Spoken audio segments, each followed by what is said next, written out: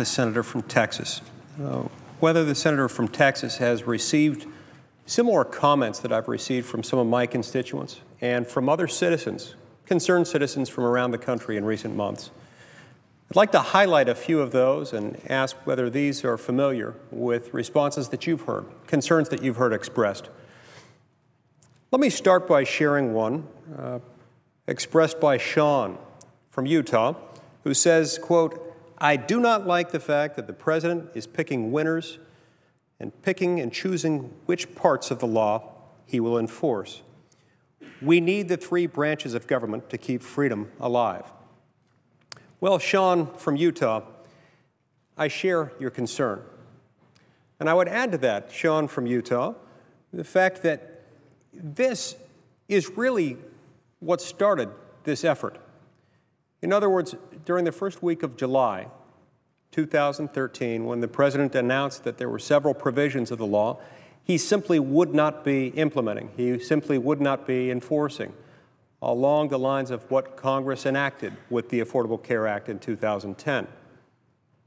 It was at that point that I, along with several others, put our heads together and realized, you know, if the President's saying that this law is not ready to implement, if the law objectively uh, is not ready to implement. If, as we now understand it, the law is going to make health care less affordable rather than more for so many Americans, uh, perhaps Congress shouldn't be funding its implementation and enforcement. Perhaps that ought to be telling us something. So it is important to remember, as Sean from Utah points out to us, that we do have three branches of government. This is the legislative branch. Our job is to make the laws. The President does not have lawmaking authority. The President can seek changes in the law, just as other citizens can seek them from Congress, but Congress does have to act.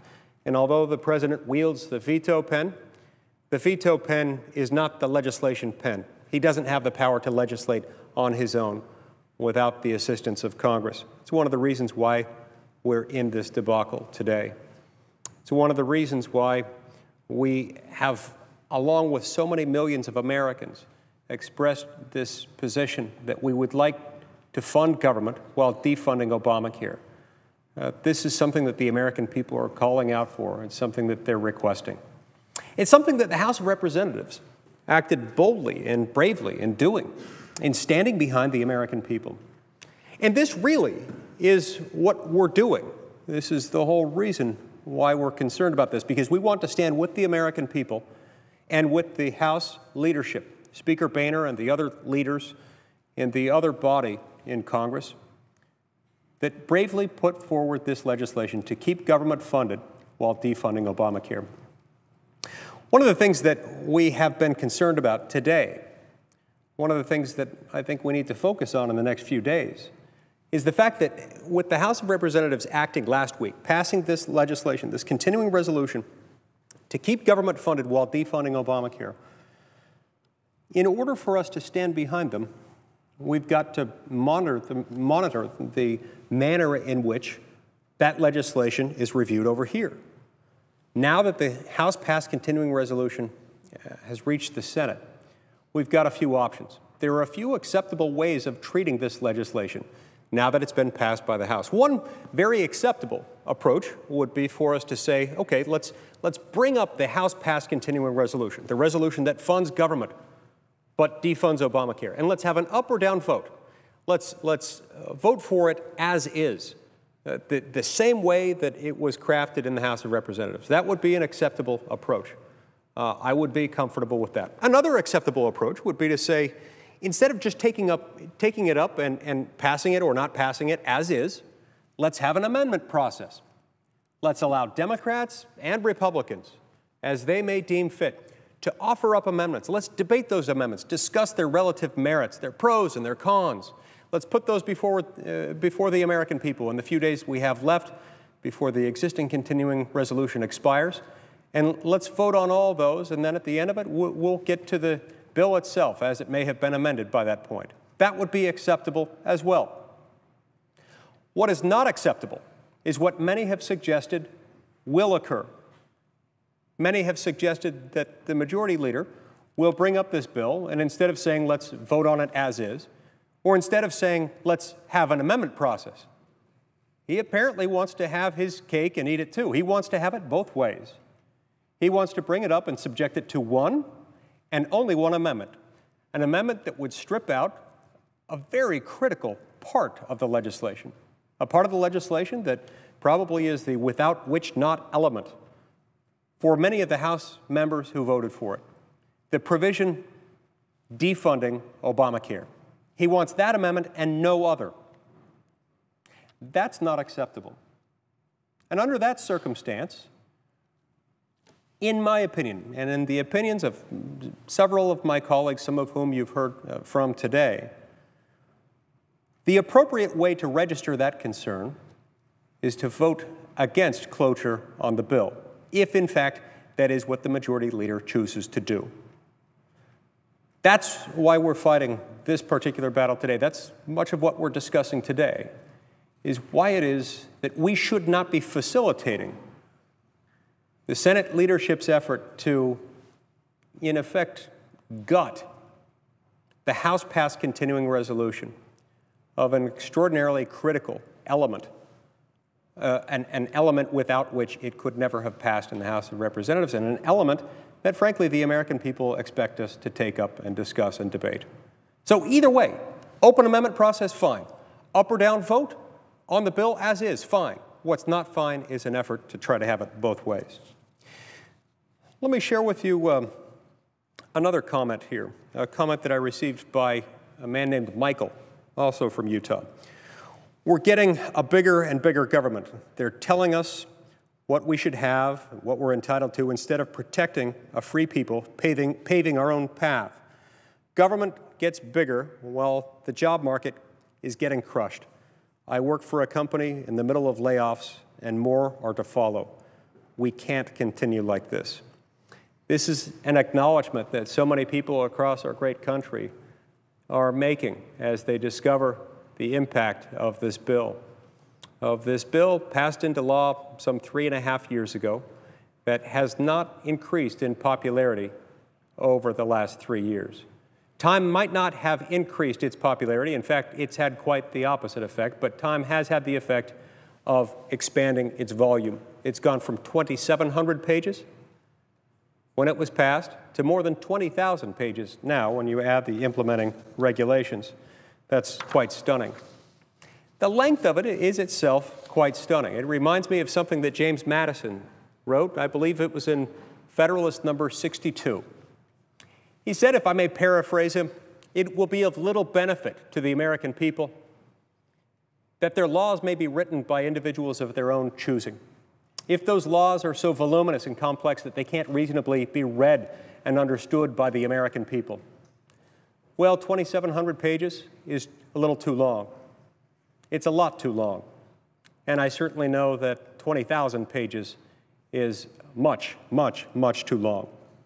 That brings to mind a comment that I received from Marcia, also from Utah, who writes this However well intentioned Obamacare may be, I do not feel this is the best solution. I think something less wordy and more succinct would be a much better plan. If you can't say it in five pages or less, it may be best unsaid. The changes already enacted have made it more difficult for me to get medical care, not a big help. Well said, Marcia. Very well said. When we vote on legislation that people haven't read, the American people tend to suffer. When we perpetuate a mistake once made, embodied in a 2,700 page bill, things go from bad to worse to much, much worse.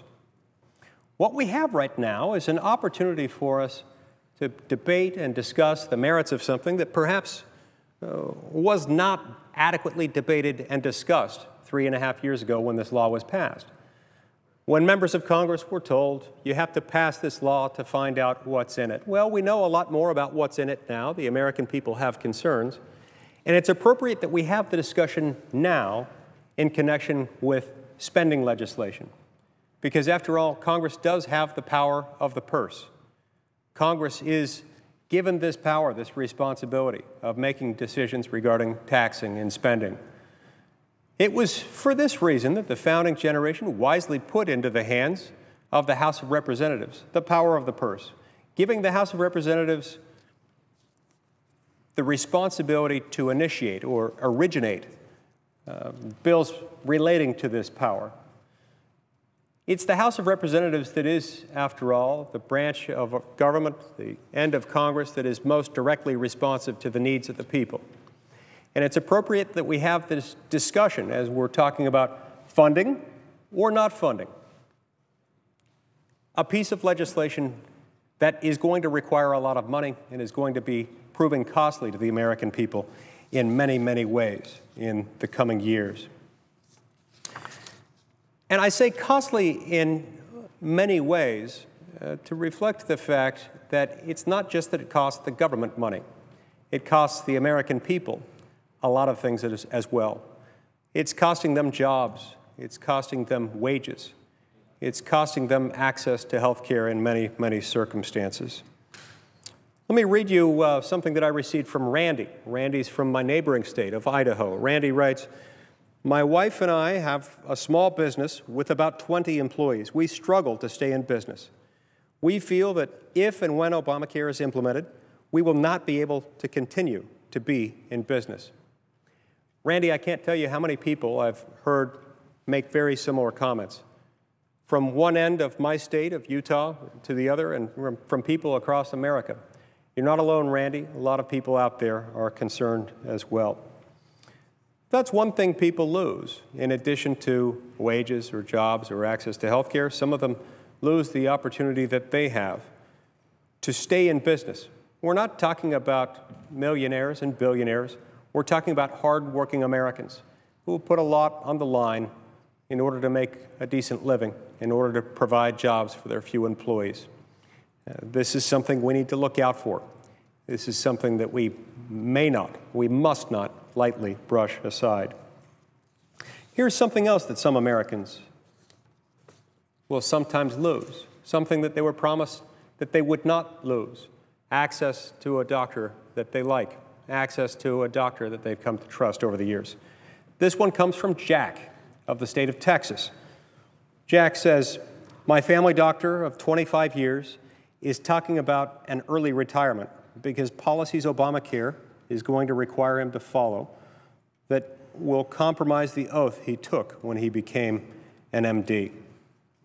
This is sad, Jack. This is something that we were promised would not happen. Uh, this is something that should not happen. Uh, this is something that we're told is happening from time to time. Ryan, also of Texas, writes My mother is a middle class mortician whose health care coverage is going up by 68 percent for this poorly envisioned law with no other changes. She simply cannot afford to maintain health care coverage without significant changes to her lifestyle. And for what? Sometimes we have to ask that question, and for what? Sometimes we have to ask the question, the same question that physicians are required to ask themselves Are we doing harm? It's my understanding that when a phys physician becomes licensed, he or she must take an oath, an oath that involves an obligation to first do no harm. We as lawmakers have to ask ourselves that question from time to time. We as lawmakers have to view ourselves as subject to a similar obligation to first do no harm. You know, some have said that when you're carrying around a hammer, everything starts to look like a nail. And I wonder whether that is sometimes true of Congress and the lawmaking power. Because of the lawmaking power that we wield, sometimes when we view problems, we assume that we automatically, necessarily, inevitably have the right solution. Well, in some cases that may be true. In other cases, it might be true in part, but that power might be used incorrectly. Sometimes when legislation is hastily drafted, thrown together in a hurry, rather than for purposes of making sure that it's part of a cohesive whole, something that will be a, a coherent mechanism that can be implemented in a common sense fashion. Sometimes, if it's thrown together too hastily and these cautions are ignored, we can end up doing a lot of harm. We can find ourselves first doing harm uh, above all else, and that's not okay. When we look at this law, and we look at the fact that the American people are funding its implementation, we discover that it's much deeper than something that deals with an individual mandate or an employer mandate or a set of regulations governing the insurance industry. It's much, much more than that. It's much more than what people will have to do with regard to the reporting of some fairly personal details about their lives to the IRS, an agency that Americans have come to trust substantially less than they already did, as if that were possible. It's about the fact that the American people, in addition to being made less free by this law, in addition to being made less prosperous by this law, are also required to fund its implementation and its enforcement against them. That's where the power of the purse must come into play. That's what makes it so appropriate, so essential, so vital that we have this discussion right here and right now as we consider spending legislation.